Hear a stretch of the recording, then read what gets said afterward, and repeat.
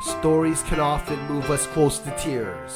What should really bother us, though, is how nobody seems to empathize for the character the way that they should. Life is like a gift someone wrapped with a bow. We wonder where it's from, but we feel like we know.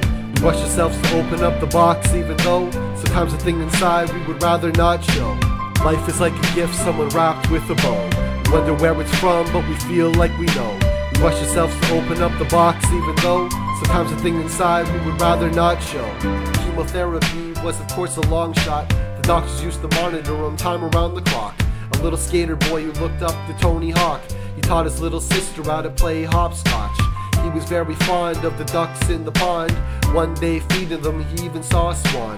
He had to leave school where he never did belong. His classmates laughed when they heard the intercom.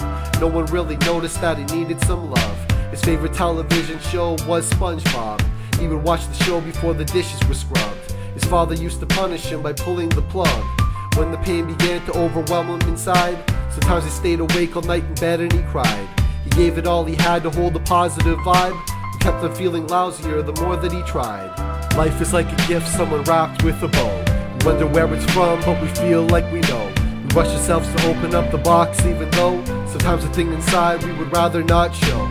Life is like a gift someone wrapped with a bow. Wonder where it's from, but we feel like we know. We rush ourselves to open up the box, even though sometimes the thing inside we would rather not show. It would have been nice to make a children's wish. However, human favoritism didn't coexist. Somebody else could take his place on the list. He was satisfied eating black licorice. Not his favorite candy, he preferred M&Ms. He used to study them beneath a microscopic lens. They melted in his mouth and it filled him with suspense. He would have loved to share them if he had a few friends. He spent a lot of time all alone in his room, flicking his peas at Lady Gaga with a spoon. When it was dark, he liked to gaze at the moon. He had a telescope he used to dust with a broom.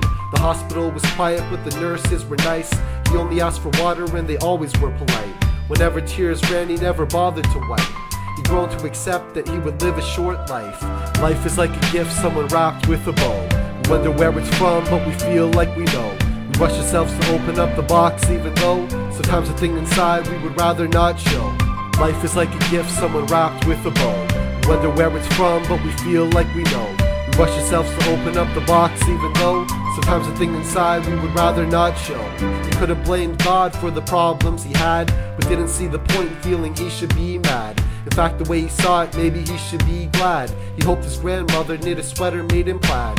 Memories of Fido made him happy in his soul, which added to the mood when he was chilly and cold. As he grew sicker, chicken soup filled his bowl. He felt so weak, the spoon was difficult to hold.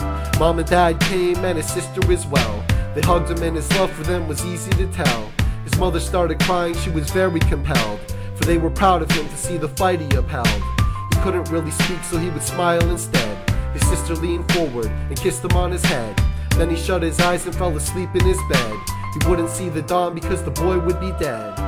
Life is like a gift someone wrapped with a bow. Wonder where it's from, but we feel like we know.